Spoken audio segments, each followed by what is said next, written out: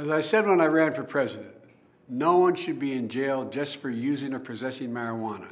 It's already legal in many states, and criminal records for marijuana possession have led to needless barriers to employment, to housing, to educational opportunities. And that's before you address the racial disparities around who suffers the consequences. While white and black and brown people use marijuana at similar rates, Black and brown people are arrested, prosecuted, and convicted at disproportionately higher rates. So today, I'm taking three steps to end this failed approach. First, I'm announcing a pardon for all prior federal offense, federal offenses for the simple possession of marijuana. There are thousands of people who are convicted for marijuana possession who may be denied employment, housing, or educational opportunities as a result of that conviction. My pardon will remove this burden on them.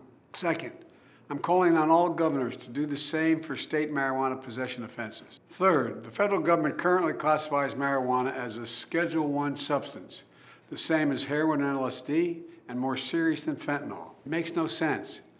So I'm asking the Secretary of Health and Human Services and the Attorney General to initiate a process to review how marijuana is scheduled under federal law. Even as federal and local regulations of marijuana change, important limitations on trafficking, marketing, and underage sales should stay in place.